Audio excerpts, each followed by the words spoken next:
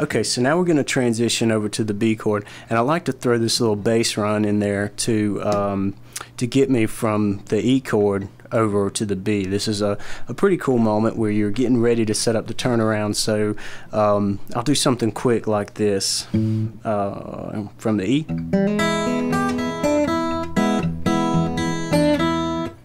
Uh, so that's what we normally do. Here's how I'm going to change it up. I'm going to leave out this and add a bass run to get me over to the B.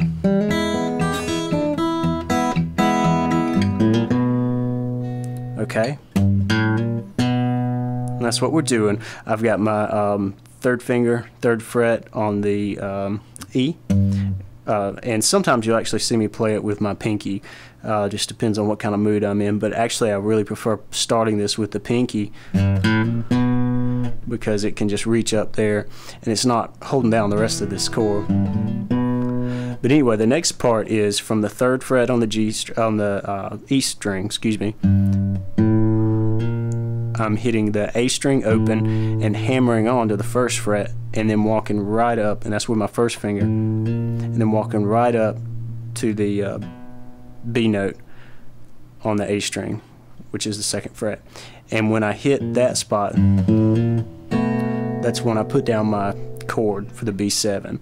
And the B7 chord is on the A string, second fret, D string, first fret, G string, second fret, B string open, and then the E string, um, second fret. So it's two, one, two, zero, two. Definitely a very cool blues sound. Uh, love these seventh chords. So again, from the E, and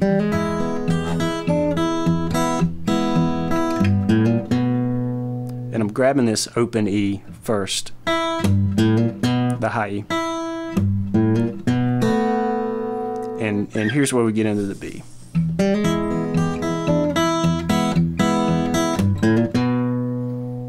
Okay, if you can get that down, it's pretty quick to lay down that chord, but get some practice doing that. Just doing that move. Because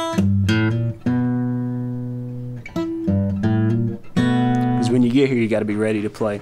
And here's the next part um, on the B chord. I'm strumming, or picking rather, with um, these three fingers, the high three strings.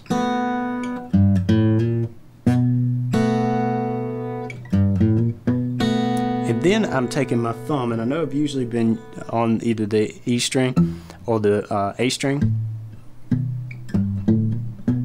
But here I'm going to actually come down um, to the D string and pluck it open and then hammer on with my first finger to the first fret.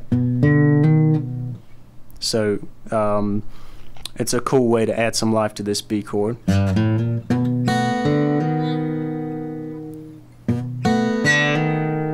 Okay, and then we're going to do a familiar move from back when we were talking about the A chord. I'm coming back to my G, G string, the bass note, and then um, I'm moving my pinky up to the third fret.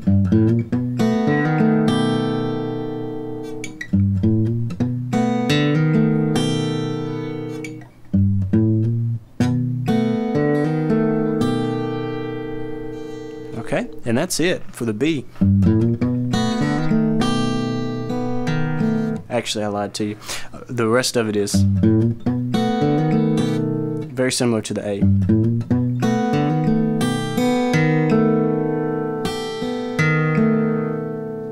So I'm plucking my E string. The B string is open, and the E string's third fret.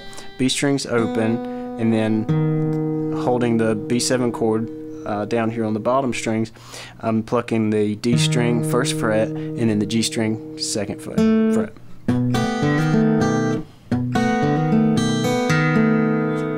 All right, and that finishes it off. All right, so from the E into the B.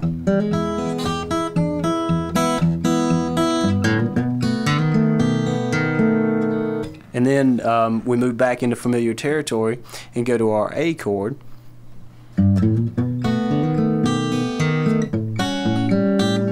and we're going to do the second half of that A chord.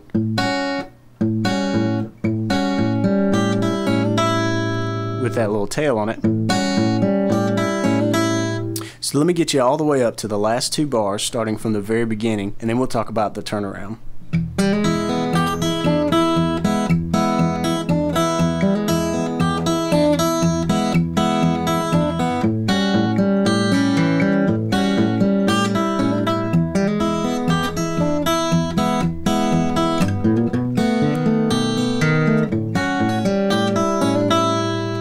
So here we are, the last two bars.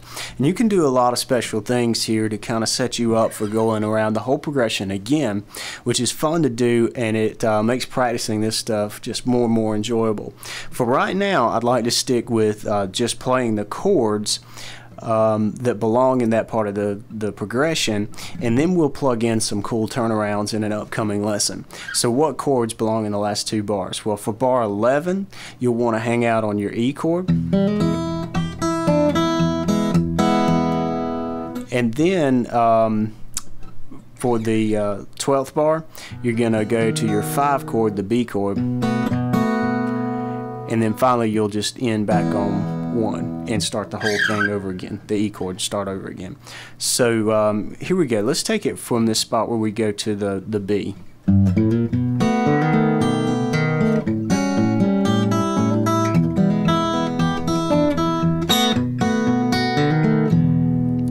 Okay, so that was bar 11 and 12. And the B chord I play a little bit differently at the, for the last bar. Just a nice way to finish off. Just hold the chord. No movement, no pinky, no licks. The only fancy thing that I'm doing is this hammer on um, on the D string from the open to the first fret. Done. End it on an E, and you're set. That's the 12 bar blues. Let's put it all together and play it one more time from the top. Here we go.